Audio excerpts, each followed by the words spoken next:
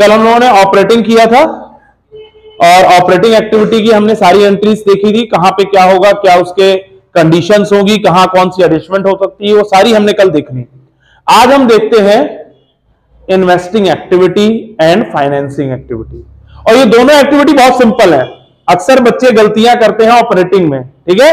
Investing और financing में गलती के चांसेस बहुत कम होते हैं, ठीक है? तो चलिए हम देखते हैं आज इन्वेस्टिंग एक्टिविटी में क्या हो सकता है। कौन कौन सी एंट्रीज होती है? देखिए फॉर्मेट तो आपका सेम रहेगा, ठीक है?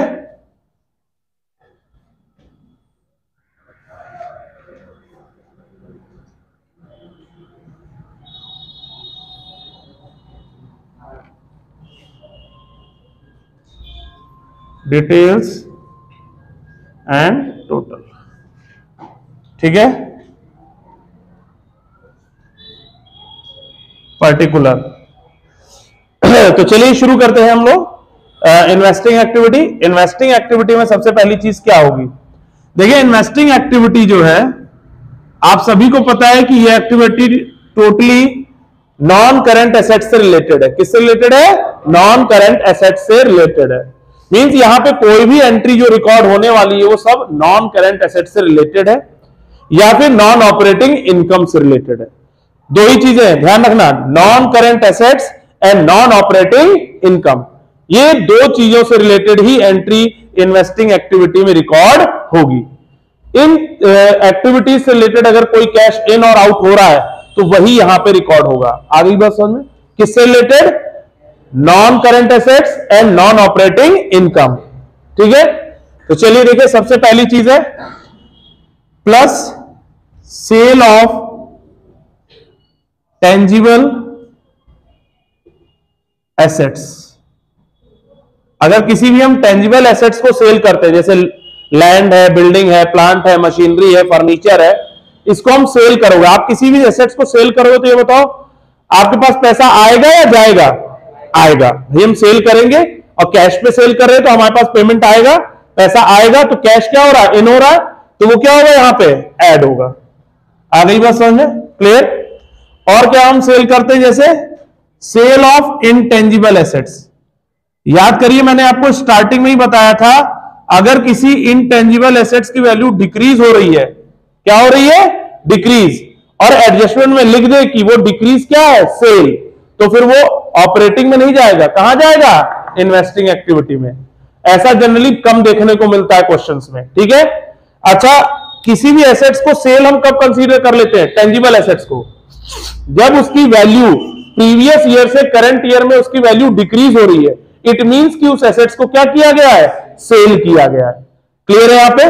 भाई, आपके पास पहले 20 लाख रुपए की मशीनरी थी, आज आपके पास 15 लाख रुपए की मशीन बची है। इसका मतलब आपने पाँच लाख रुपए का क्या किया है? सेल किया है। समझ गए कि नहीं यहाँ पे?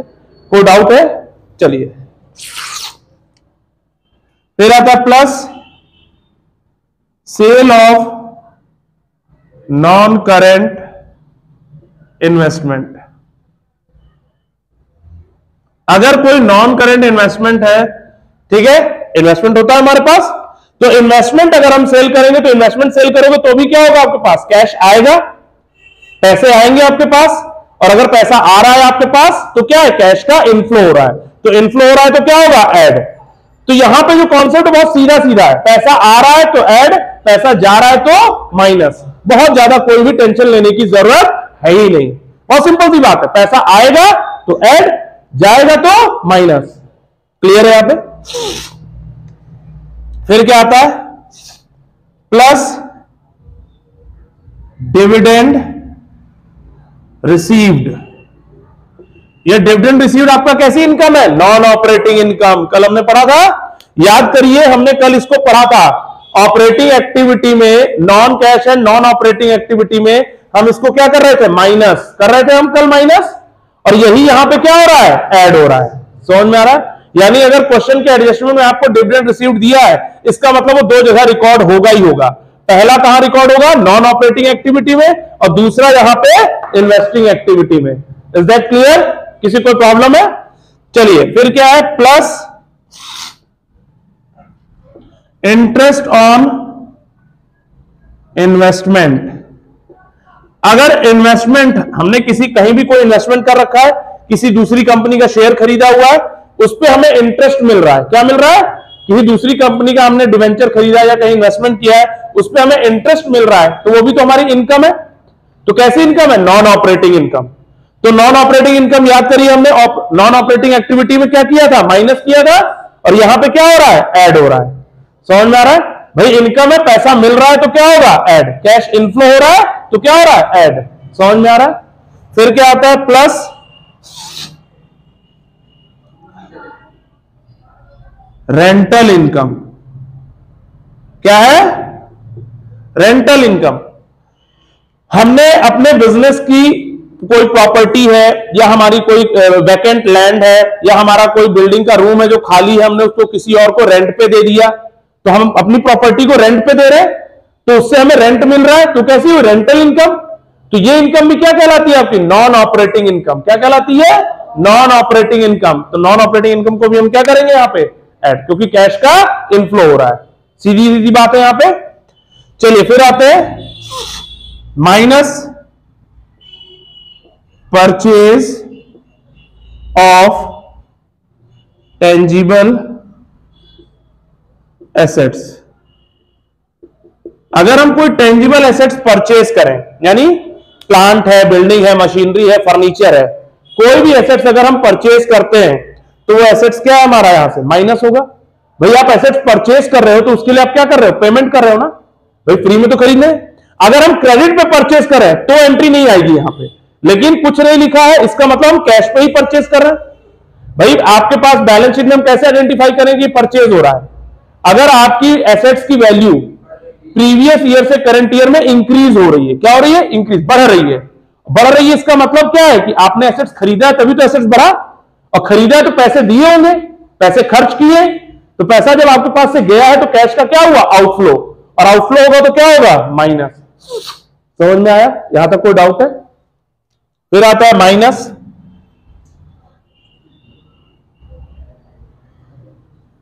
purchase of intangible assets ठीक है?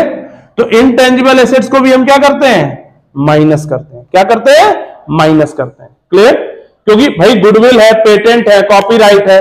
हम पेटेंट भी परचेस करते हैं। हम कॉपीराइट परचेस करते हैं किसी दूसरी कंपनी का तो हम परचेस करें। अगर उसकी वैल्यू बढ़ रही है, इसका मतलब हम क्या कर रहे हैं? परचेस ध्यान रखिएगा। गुडविल पेटेंट कॉपीराइट कोई भी इंटेंजिबल एसेट्स है जिसकी वैल्यू प्रीवियस ईयर से करंट ईयर में इंक्रीज हो रही है इट मीन वो क्या हो रहा है? परचेज हो रहा है। और परचेज कर रहे हैं, इसका मतलब पेमेंट कर रहे हैं। तो पेमेंट कर रहे हैं तो कैश का क्या होगा? आउटफ्लो होगा।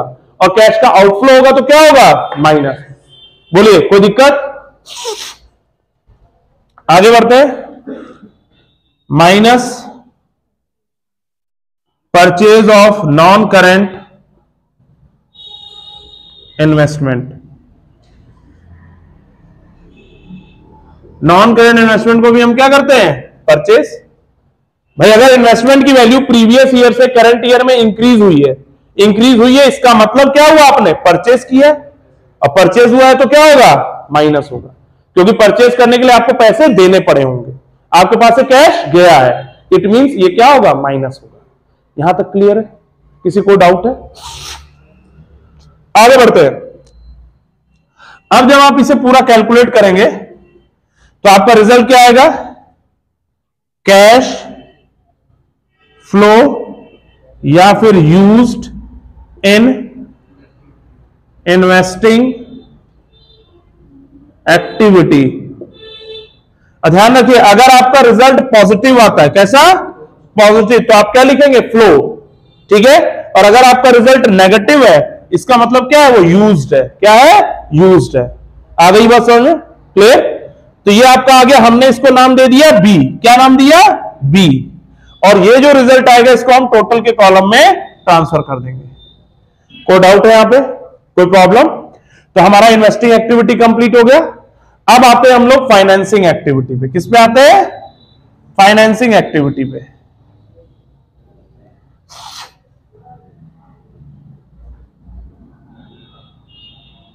फाइनेंसिंग एक्टिविटी अब जरा ध्यान दीजिएगा। अच्छा जैसे कि मैंने आपको बताया था कि ये तीन यहाँ पे जैसे इन्वेस्टिंग में लिखे हमने ये। Dividend received interest on investment rental income अगर ये किसी हम लोग बैंकिंग कंपनी का कैश फ्लो बना रहे होते तो क्या वो यहाँ आता? तब वो कहाँ आता? हमारा ऑपरेटिंग एक्टिविटी में।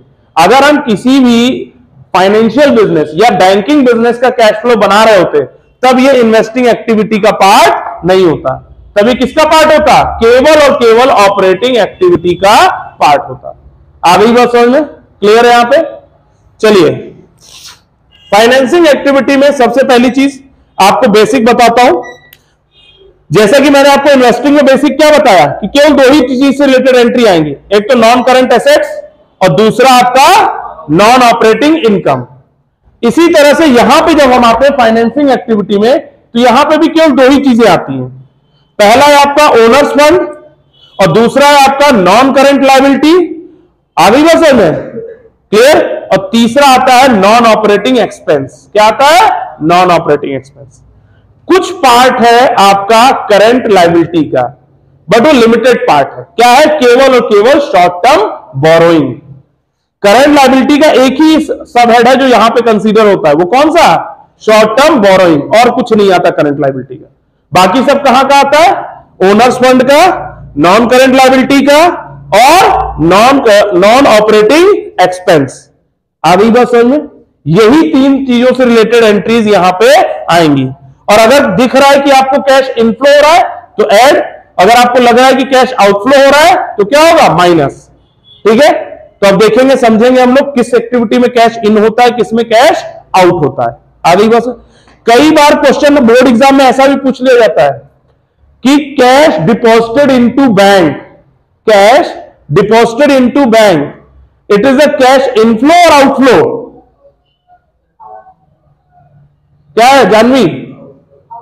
Outflow Kunal? Outflow Aditya? Outflow Gauravansh outflow Ansh no flow भाई। ये मतलब तुम्हारा कैश उठा के तुमने अपने बैंक में जमा कर, पैसा कहीं गया क्या? है? चाहे तुम्हारे जेब में है, तुम्हारे अकाउंट में पैसा है तो तुम्हारे ही पास ना।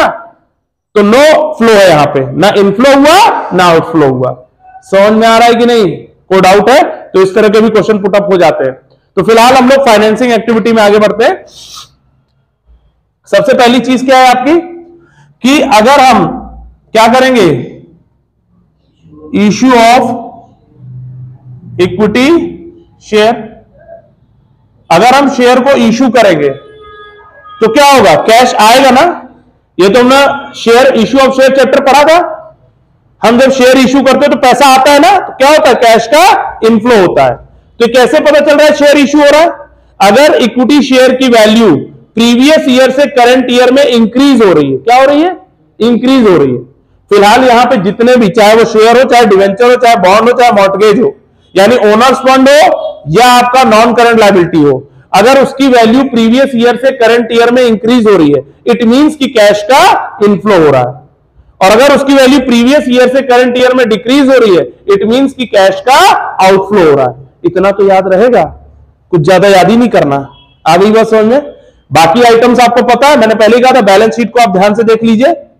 तो इक्विटी शेयर आपका क्या हो रहा है? इशू कब हो रहा है? जब आपका शेयर की वैल्यू क्या होती है? इंक्रीज क्या होती है? इंक्रीज फिर क्या plus issue of preference share ये भी क्या होगा? जब प्रेफरेंस शेयर की वैल्यू क्या हो रही है? इंक्रीज हो रही है। यानी प्रीवियस ईयर से करंट ईयर में उसकी वैल्यू इंक्रीज हो रही है। इसका मतलब कैश का क्या हो रहा है? इनफ्लो हो रहा है, यहाँ तक कोई डाउट है। अब जरा ध्यान दीजिएगा, फिर क्या plus issue of debenture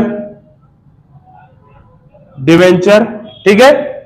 तो ये भी क्या हो रहा है इंक्रीज हो रहा है, तभी तो इसका मतलब इश्यू हो रहा है, और ऐड होगा।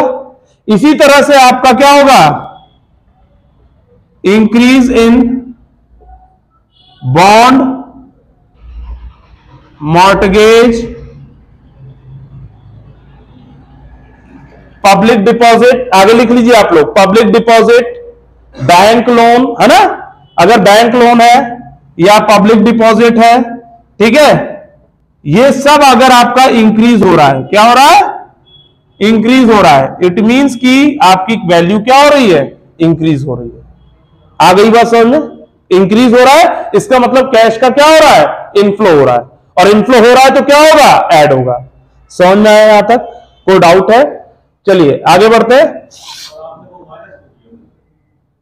सॉरी ये बाय डिफ़ॉल्ट लग गया। ठीक है? यहाँ तक क्लियर है? फिर आगे बढ़ते हैं। ये हो गया आपका इसमें इंक्रीज और क्या आता है? मैंने क्या कहा था? अब यहाँ पे आपको देखो, लगभग सब कुछ मिल गया होगा। आपको ओनर्स फंड भी मिल गया और नॉन करंट लाइबिलिटी भी मिल गया।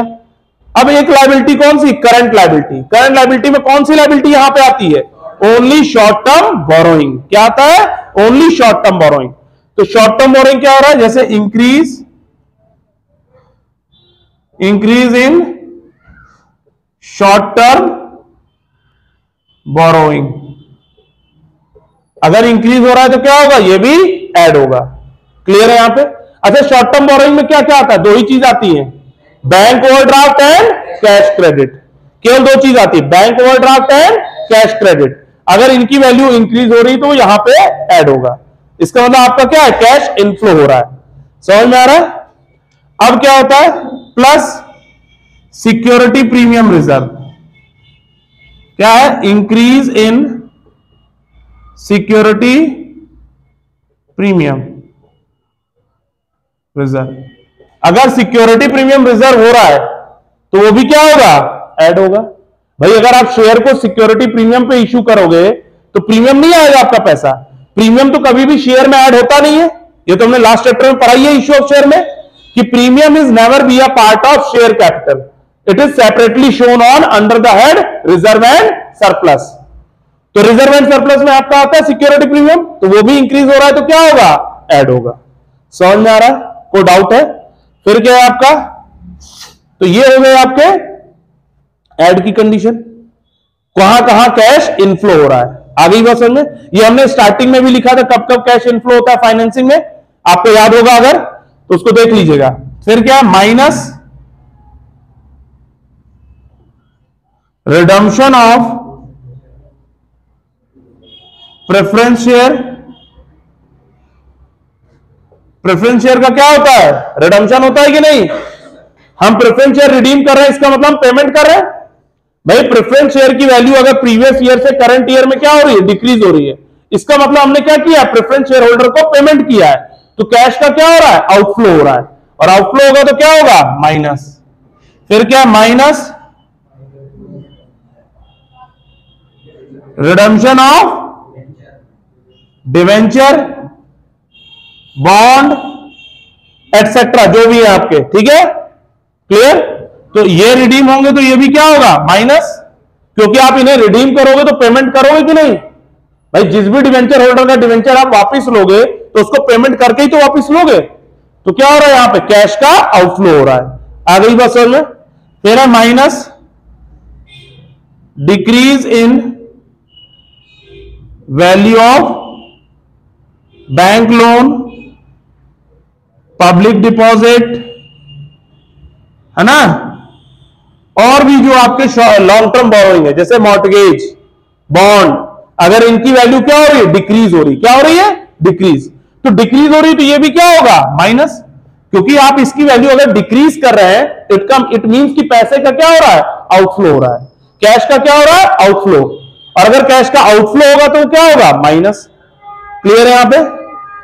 फिर क्या आपका? Minus decrease in decrease in short term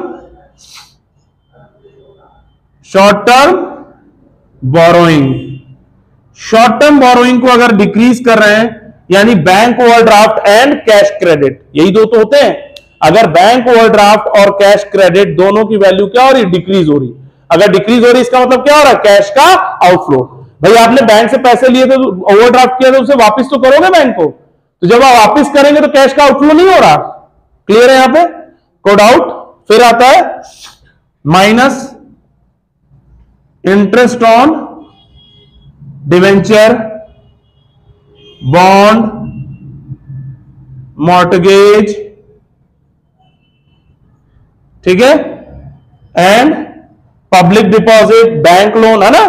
जितने भी आपके डेप्ट है, चाहे वो डिवेंचर हो, बॉन्ड हो, मॉर्टगेज हो या पब्लिक डिपॉजिट हो, ये जितने भी आपके लॉन्ग टर्म डेप्ट है, इन पे जो हम इंटरेस्ट पे कर रहे हैं, वो इंटरेस्ट क्या होगा? माइनस होगा। अब ध्यान दीजिए, ये आपका नॉन ऑपरेटिंग एक्सपेंस है और यही नॉन ऑपरेटिंग एक्सपेंस आपने ऐड किया था। कहाँ पे? ऑपरेटिंग एक्टिविटी में। नॉन ऑपरेटिंग एक्टिविटी में क्या किया था आपने? ऐड किया था।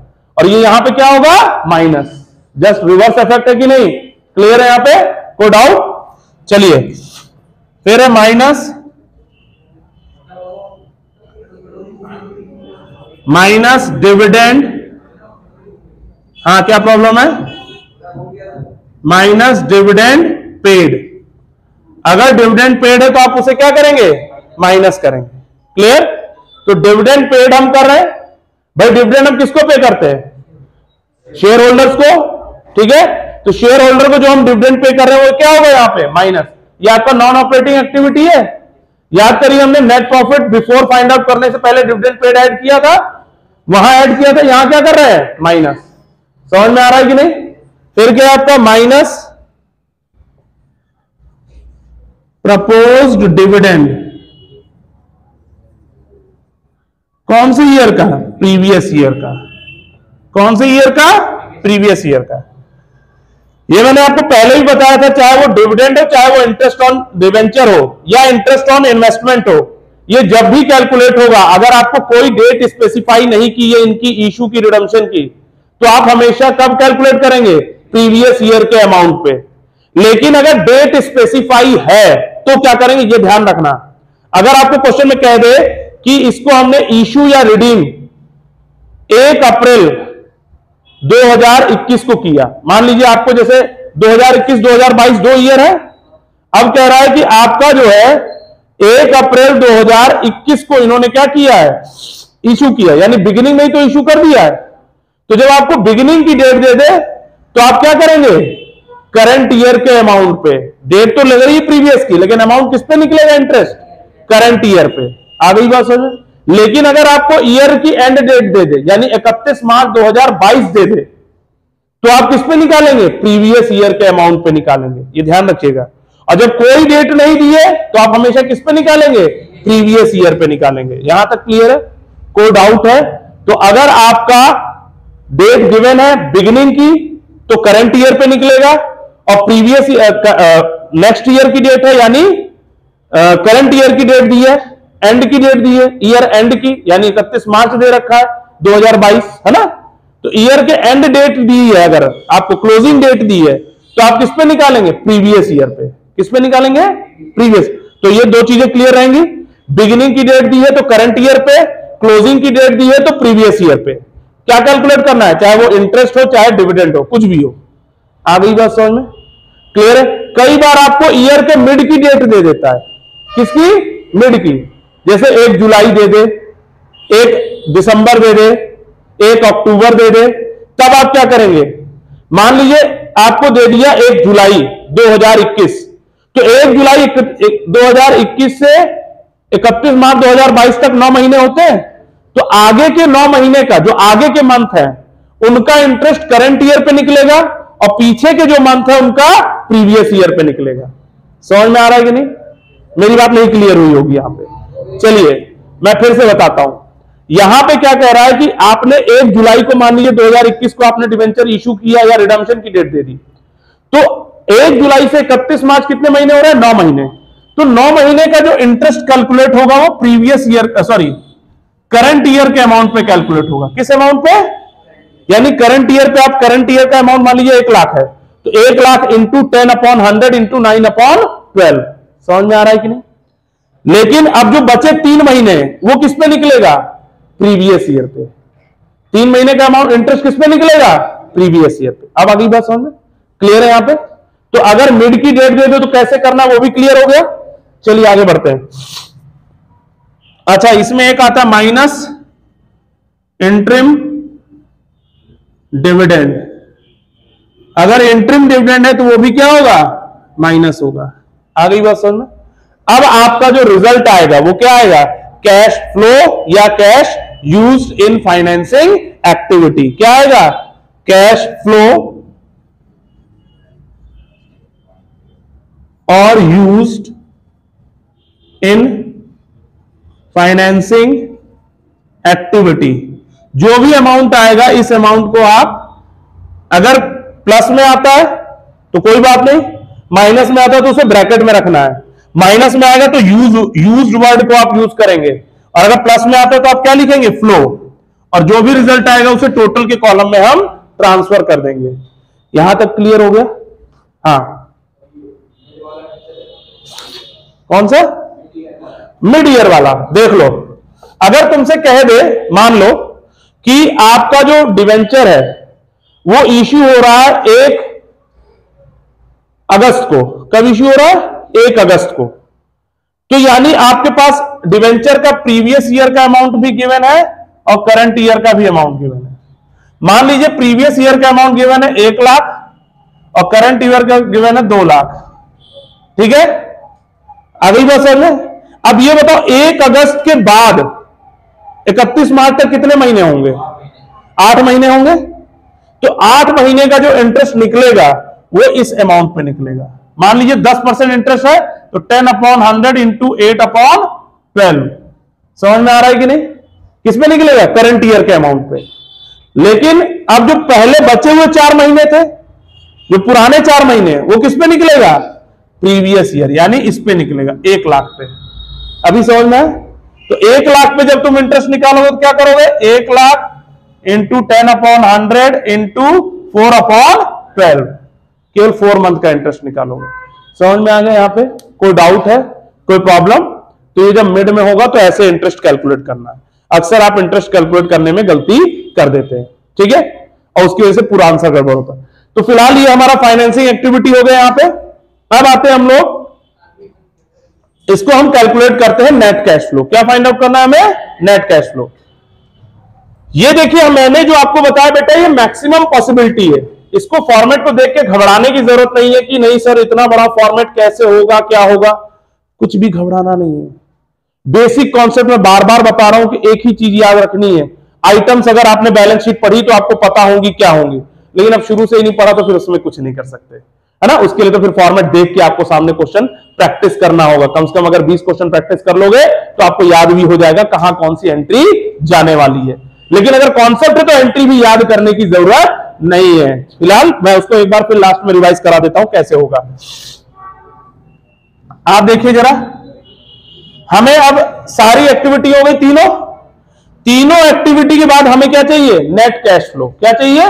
नेट कैश फ्लो तो देखिए नेट कैश फ्लो हम निकालते हैं। नेट कैश फ्लो आता कैसे? A plus B plus C A क्या था हमारा? ऑपरेटिंग एक्टिविटी था। ठीक है बी क्या था हमारा? इन्वेस्टिंग एक्टिविटी था। और सी क्या हमारा था? फाइनेंसिंग एक्टिविटी था कि नहीं? बोलो भाई, हमने इसको फाइनेंसिंग को क्या दिया? सी नाम दिया। और यही हमने आउटर कॉलम में लिखा।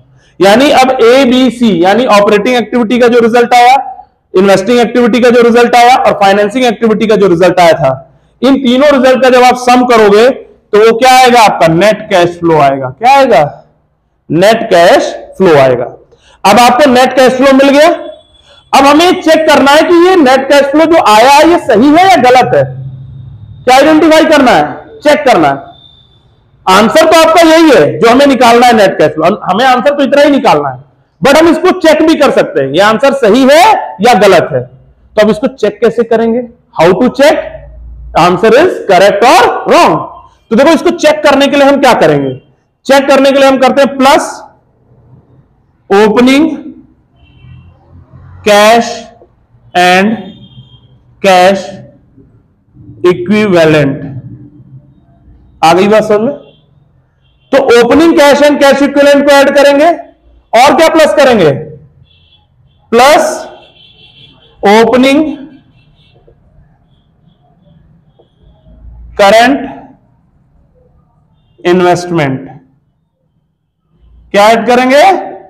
ओपनिंग करंट इन्वेस्टमेंट यानी कैश एंड कैश इक्विवेलेंट और ओपनिंग करंट इन्वेस्टमेंट दोनों का ओपनिंग बैलेंस हम क्या करेंगे इसमें? ऐड कर देंगे। आ गई बात समझ? जब इन दोनों का बैलेंस हम इसमें ऐड कर देंगे तो अब जो रिज़ल्ट आना चाहिए, ये जो रिज़ल्ट आएगा, ये इक्वल्स टू होगा। क्या होगा? इक्वल्स टू किसके इक्वल होगा? It is equals to closing cash and cash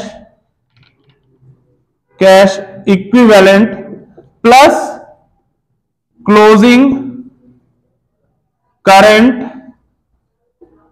investment. यानी अगर आप closing cash and cash equivalent और क्लोजिंग करंट इन्वेस्टमेंट को करंट इन्वेस्टमेंट को हम मार्केटेबल सिक्योरिटीज के नाम से भी जानते हैं। किस नाम से जानते हैं? मार्केटेबल सिक्योरिटीज के नाम से, ठीक है? तो इन दोनों का जो क्लोजिंग बैलेंस ऐड हो, वो इन तीनों के सम के इक्वल आना चाहिए। क्या आना चाहिए? अगर इक्वल आ रहा है it mean your answer is correct उसमें कोई क्वेश्चन नहीं होगा फिर। समझ में आ गया यहाँ पे? तो ये हमारा क्या हो गया? कैश फ्लो क्लियर है यहाँ पे? देखिए, हमने कैश फ्लो की मैक्सिमम पॉसिबिलिटीज को डिस्कस किया है। मैक्सिमम पॉसिबिलिटी मतलब क्या मैक्सिमम ट्रांजेक्शन हो सकती है? आ गई बात समझ में? क्लियर है यहाँ पे? अब जरा मैं एक शॉर्टकट में आपको मैं बता देता हूँ कॉन्सेप्ट केवल। देखिए, हमने शुरू किया था कहाँ से? Net profit after tax and dividend जो कि आपको रिज़र्व एंड सरप्लस से मिल गया था। उसका आपने current year minus previous year किया। मैंने कहा था, उसके बाद आपको निकालना क्या? अपोजिट करना है। क्या करना है? बैक गियर लगाना क्या करना है? बैक गियर लगा के गाड़ी चलानी है। यानी हमको उल्टा चलना है। यानी जो हमारे पास इनकम नॉन ऑपरेटिंग इनकम थी शेयर भाई प्रॉफिट से ही तो हम शेयर होल्डर को डिविडेंड देते हैं। प्रॉफिट से ही तो हम जनरल रिज़र्व क्रिएट करते हैं। तो जो चीज़ें प्रॉफिट से निकाल के हमने बाहर की थी, उन्हें अब क्या करना है? ऐड करना है। अगर आपका बेसिक क्लियर होगा ना तो ये बहुत आसान है करना। ठीक है? आपका बेसिक क्या है? आपको पता है कि जनरल रिज़र्व कहाँ से निकाला जाता है? प्रॉफिट से। आपको पता है कि शेयर होल्डर को डिविडेंड कहाँ से दिया जाता है? प्रॉफिट से दिया जाता है। यही चीज़ तो वापस देना है प्रॉफिट में ऐड करना है। आपको पता है कि टैक्स कहाँ से दिया जाता है? प्रॉफिट से। तो टैक्स वापस ऐड करना है। यही तो करना है हमें। बोला हमने पहले स्टेप में यही किया था। तो ये सारी चीज़ें हमने ऐड की थी और आपका रिज़ल्ट आ गया था net profit before tax and dividend अच्छा ये आ जाने के बाद क्या हुआ हमारा? अब हमको लेना था कहाँ था? हम, चाहिए ऑपरेटिंग से कैश कैश का इनफ्लो और आउटफ्लो तो यानी हमें ऑपरेटिंग प्रॉफिट पे जाना है। कहाँ जाना है? तो ऑपरेटिंग प्रॉफिट पे जाने के लिए हमें नेट प्रॉफिट में से वो चीज़ें हटानी है जो हम इसमें यूज़ कर चुके थे। जैसे non operating expense and non operating income आगे बात समझ मैंने आपको बताया था कि रेशियो में हमने फॉर्मूला पढ़ा था। पढ़ा था हमने फॉर्मूला क्या फॉर्मूला पढ़ा था? Operating profit equals to net profit plus non operating expense minus non operating income ये उल्टा है ना फॉर्मूला भाई एक्सपेंस तो कभी प्लस होते हैं देखा जाए तो एक्सपेंस माइनस होते हैं लेकिन हम यहाँ नॉन ऑपरेटिंग एक्सपेंस को क्या कर रहे हैं? ऐड कर रहे हैं। और नॉन ऑपरेटिंग इनकम को माइनस कर रहे हैं। इसका मतलब हम वापस जा रहे हैं ना? रिवर्स गियर लगा रहे हैं। तो याद करिए, हमने लिखा था वहाँ पे non cash activity and non operating activity तो नॉन ऑपरेटिंग में क्या होगा? जितने भी नॉन ऑपरेटिंग इनकम है, वो क्या होंगी? माइनस होंगी। और जितने भी नॉन ऑपरेटिंग एक्सपेंस है, वो क्या होंगे? ऐड होंगे। उल्टा हो रहा है। और नॉन कैश एक्टिविटी भाई कोई ऐसा एक्सपेंस जो हमने दिखाया तो एक्सपेंस लेकिन उसके लिए किसी को पैसे नहीं दिए। तो वो वो तो आपका कैश इनफ्लो आउटफ्लो तो हुआ नहीं। तो वो भी बेवजह एक्टिविटी में इन्वॉल्व है। तो उसे भी हम क्या करेंगे? ऐड करेंगे। वो तो हम बेवजह प्रॉफिट में से माइनस किए थे ना।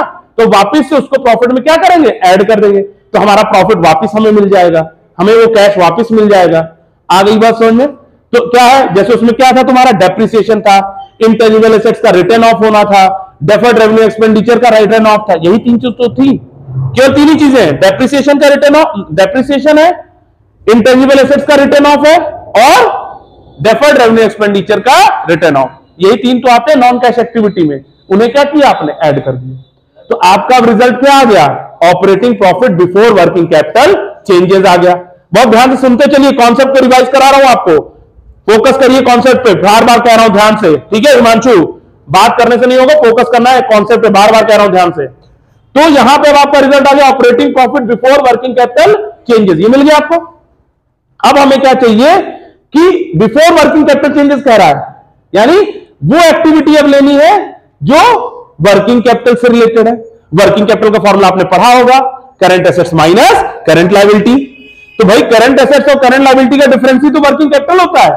तो उस करंट एसेट्स और करंट लाइबिलिटी में जो चेंजेस आ रहे हैं, उन चेंजेस की वजह से कितना कैश इन हुआ है, कितना कैश आउट हुआ है।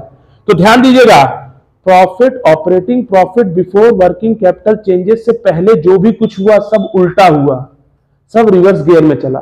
अब गाड़ी को क्या करना है? वापिस से आगे लगाना है फॉरवर्ड गियर लगाना है है ना? अब तो ऑटो गियर गाड़ी आ रही ना। जिसमें दो ही गियर होते हैं, एक रिवर्स और एक फॉरवर्ड ठीक है? अब पार्किंग वाला ठीक है भाई, तुम पार्किंग पे ही रहोगे क्या? अरे आगे बढ़ना है भाई। है? तो हम क्या करेंगे अब उसमें? फॉरवर्ड का गियर लगाएँगे। यानी अब इसके बाद जो भी ट्रांजेक्शन करेंगे, वो सीधा सीधा देखेंगे। कैसे सीधा देखेंगे? अगर आपकी करंट लाइबिलिटी इंक्रीज होती है तो भाई ये बताओ, पैसा आएगा ना? कैश का इनफ्लो होगा। भाई हमने कहीं से उधार लेंगे तो कैश कैश आया ना? तभी तो करंट लाइबिलिटी बढ़ गई। आ गई बस अगर हमने किसी करंट लाइबिलिटी का पेमेंट कर दिया तो करंट लाइबिलिटी घट गई। घट गई तो मतलब पैसा गया तो माइनस होगा। समझ में आ रहा? इसी तरह से करंट एसेट्स के केस में, अगर करंट एसेट्स बढ़ रहा है तो क्या हो रहा है? कैश का आउटफ्लो हो रहा है। क्योंकि एसेट्स आप खरीदोगे तभी तो बढ़ेगा। आ गई बस समझ और करंट एसेट्स घट रहा है तो इसका मतलब हमारे पास से पैसा जा रहा है। और पैसा जा रहा है तो क्या होगा? माइनस समझ में आ रहा है? सॉरी उल्टा बोल दिया। करंट एसेट्स आपका डिक्रीज हो रहा है तो पैसा आएगा। क्योंकि आपने करंट एसेट्स को क्या किया है? सेल आउट किया है। क्या किया है? सेल आउट सेल आउट करोगे, ज़ाहिर सी बात है करंट एसेट्स घटेगा, इसका मतलब पैसा आएगा आपके पास। पैसा आएगा तो क्या होगा? ऐड होगा। यहाँ तक क्लियर है? तो करंट लाइबिलिटी करंट इसमें मैंने आपको दो एक्सेप्शन बताई थी। करंट लाइबिलिटी में दो ऐसी करंट लाइबिलिटी जो यहाँ पे नहीं ली जाती है ऑपरेटिंग में। कौन सी दो करंट लाइबिलिटी आपकी? Short term borrowing and short term provision ठीक है? और करंट एसेट्स में कौन से करंट एसेट्स हैं जो नहीं लिए जाते? आपका current investment and cash and cash equivalent जिनका यूज़ आपने यहाँ पे किया है। दिख रहा है दोनों यहाँ पे, इसीलिए वहाँ लिए नहीं गए। आ गई बात में? क्लियर फिर आगे आते हैं हम लोग किस पे? इन्वेस्टिंग एक्टिविटी पे। अब इन्वेस्टिंग एक्टिविटी में आपने क्या करना था? केवल दो ही बातों को ध्यान रखनी है। Non current assets and non operating income इन्हीं से रिलेटेड अगर कोई कैश इनफ्लो आउटफ्लो हो रहा है तो इन्वेस्टिंग एक्टिविटी में। और फिर लास्ट बचा आपका फाइनेंसिंग एक्टिविटी जिसमें आपका owners fund non current liability और नॉन ऑपरेटिंग एक्सपेंस से रिलेटेड अगर कोई कैश इनफ्लो और आउटफ्लो हो रहा है तो यहाँ पर रिकॉर्ड होगा फाइनेंसिंग में। इतनी ही तो सेवा है। इतना ही ध्यान रखना है। चलिए बहुत बहुत धन्यवाद। आज के लिए इतना ही।